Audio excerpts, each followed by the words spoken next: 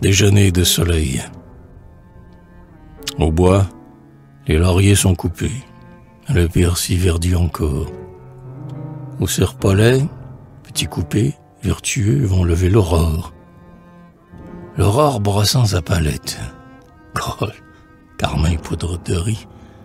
Pour faire dire, la coquette, qu'on fait bien les ciels à Paris.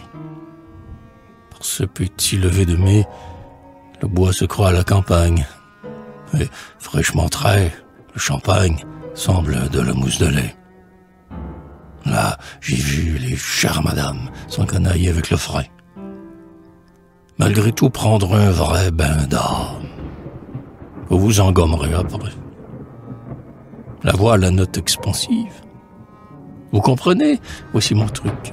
Je vends mes Memphis et j'arrive sans louis. Bibi. Mon Dieu. On presse de petites mains, tiens, à si pur cet attelage. Même les cochers au dressage redeviennent simples humains. Encore toi, vieille belle impure.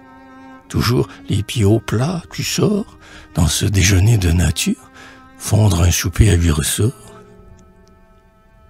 Voici l'école buissonnière. Quelques mariés jaunes de teint, et qui rentrent dans la carrière de ses bonheurs, le matin. Le pain qui s'arrête, un sergent de ville s'assied.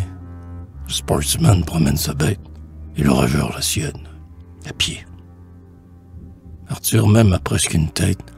Son faux col s'ouvre matinal.